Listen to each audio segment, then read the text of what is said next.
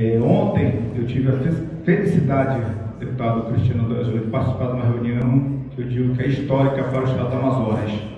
A convite do nosso presidente, deputado Roberto Cidade, do governador Wilson Lima, eu estava presente no momento em que foi apresentado para o governador Wilson Lima o acordo feito entre as lideranças indígenas do povo Mura, ali de Altazes, com a empresa Potássio do Brasil. Realmente é um passo importante para que transforme o município de, de Altazes é, num grande produtor, a empresa Potássio do Brasil, de forma sustentável, inteligente, racional e lá explorar o potássio ao longo do mandato do presidente Bolsonaro, que ele sempre defendeu.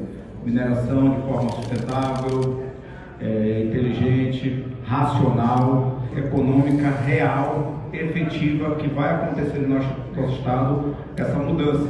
Né? E não só em, em Altaz, como em outros municípios. De forma ordenada a exploração é, da, da mineração aqui no nosso estado do Amazonas, e é isso que vai transformar a vida do povo amazonense.